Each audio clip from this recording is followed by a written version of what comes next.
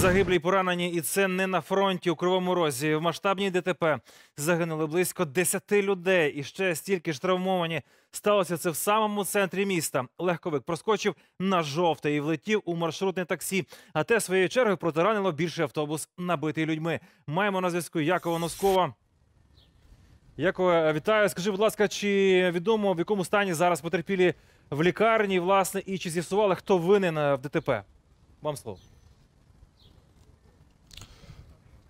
Вітаю студія. Зараз ми перебуваємо на місці ДТП, де вже кілька годин поспіль триває слідчий експеримент. За моєю спиною ви бачите жовтий автобус, точнісінько такий, який і брав участь у фатальній аварії.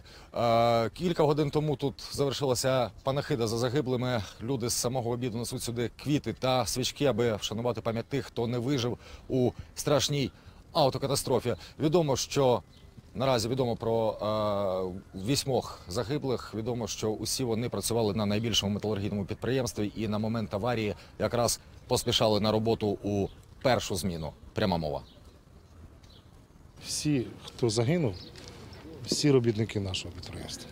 З різних участків, з різних цехів. Є і замначальника цеха, є прості робітники, є токар, який загинув. Вік е, від 27 років до 60. Сама аварія трапилась близько 6 години ранку. На момент фатальної ДТП світлофори на цьому перехресті не працювали, але як ви бачите, навколо повно попереджувальних знаків. Водій Мазди їх проігнорував. Він вилетів на жваве перехрестя якраз під колеса маршрутки. Від удару мікроавтобус відкинуло під великий автобус, і унаслідок цього зіткнення і загинуло дуже багато людей.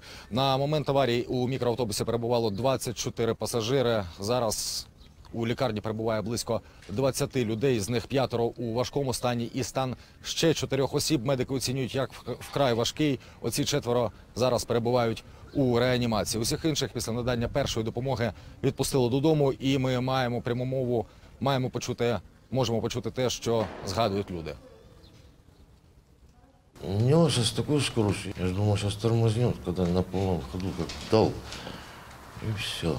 То лежу, смотрю. Много трупов, сразу в крови, стонут. С много предприятий, маршрутка была забита. Я просто задремал и очнулся уже в скорой в таком состоянии, что ничего не могу понять, что случилось, пока меня успокоили врачи, пока мне объяснили.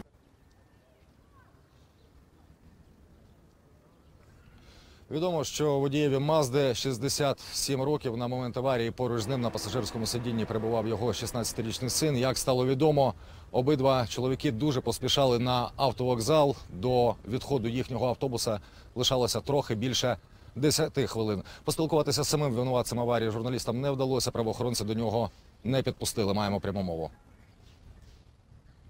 Пока ну, он, онкобольной – это водитель транспортного средства. Сейчас здесь соберется ажиотаж.